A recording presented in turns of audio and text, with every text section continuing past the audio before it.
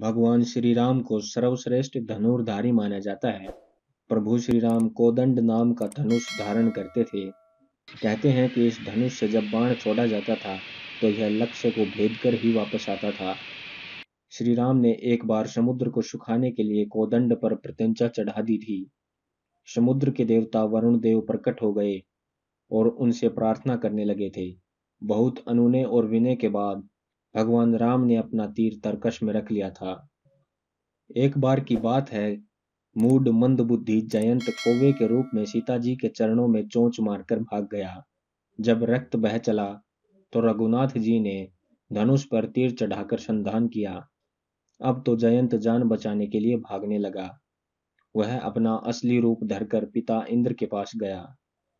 पर इंद्र ने भी उसे श्री राम का विरोधी जानकर अपने पास नहीं रखा। तब उसके हृदय में निराशा से भय उत्पन्न हो गया और वह भयभीत होकर भागता फिरा। लेकिन किसी ने भी उसको शरण नहीं दी, क्योंकि राम जी के द्रोही को कौन हाथ लगाए? जब नारद जी ने जयंत को भयभीत और व्याकुल देखा तो उन्होंने कहा कि अब तो तुम्हें प्रभु श्री राम ही बचा सकते हैं, उन्हीं की शरण में जाओ।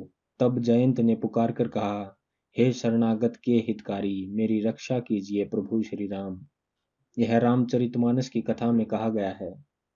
ऐसा भी कहा जाता है कि श्री राम ने वहीं पड़े एक घास के तिनके को अभिमंत्रित करके छोड़ दिया था, जो बाण बनकर जयंत के पीछे दौड़ा। जयंत अपनी जान बचाने के लिए अपने पिता की शरण में गया तो उन्होंने उसे शरण देने से इनकार कर दिया।